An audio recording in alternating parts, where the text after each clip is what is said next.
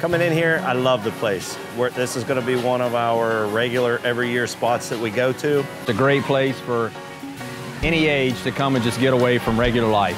Well, it's close to home. We're two hours away, and we love all the activities they have. So we've been here uh, 15 years. We started out bringing the kids and then the grandkids and now the great grandkids. I mean, there's so many amenities. The kids haven't been bored yet. We've been here since Saturday, so four days now. Um, there's a lot, there's a lot to do. Um, we like riding around on the golf carts, coming to the pool, and going to the lake. It's awesome.